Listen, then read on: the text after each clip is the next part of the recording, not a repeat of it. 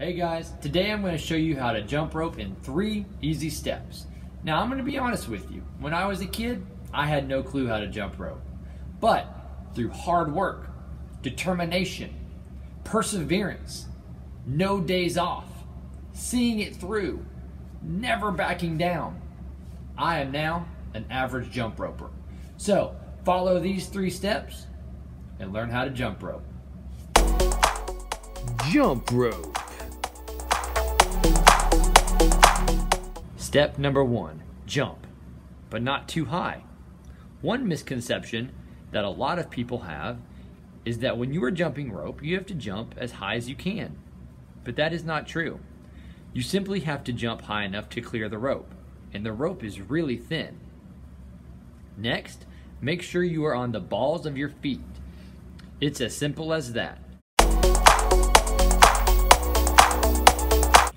Step number two, turn the rope.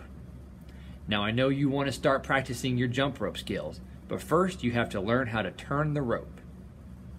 It is important that you do not turn the rope too fast and that you try to tap the ground every time you turn it. Just like that. So now you've learned how to jump and turn the rope. Let's put it all together for step number three. Step number three, turn first, then jump. It is important that you turn the rope first, then jump over it.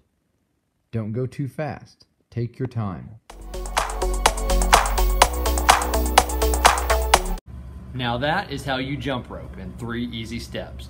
Remember, keep practicing and never give up.